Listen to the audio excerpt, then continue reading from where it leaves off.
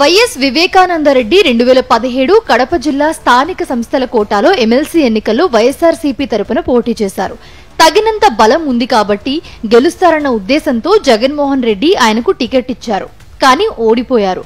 అందుకు వైఎస్ భాస్కర్ రెడ్డే కారణమని వివేక ఆగ్రహం వ్యక్తం చేసినట్లుగా సీబీఐ తన రిమాండ్ రిపోర్టులో పేర్కొంది.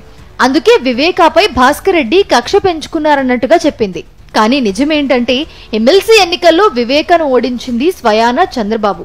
ఆ ఎన్నికల్లో వైఎస్ఆర్సీపీకి పూర్తి మెజార్టీ ఉంది.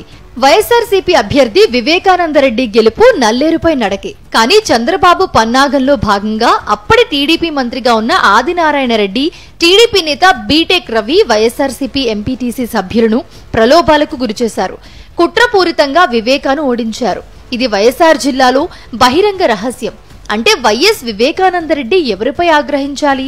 వైఎస్ఆర్సీపీ తరపున ఎమ్మెల్సీగా గెలిచిన నిబంధనలకు విరుద్ధంగా టీడీపీలో చేరి మంత్రి అయ్యి తనను ఓడించిన ఆదినారాయణ రెడ్డిపై కదా? సిబిఐ మాత్రం భాస్కర్ రెడ్డిపై ఆగ్రహించినట్లుగా కట్టుకథను అల్లడం ఆశ్చర్యపరిచేదే.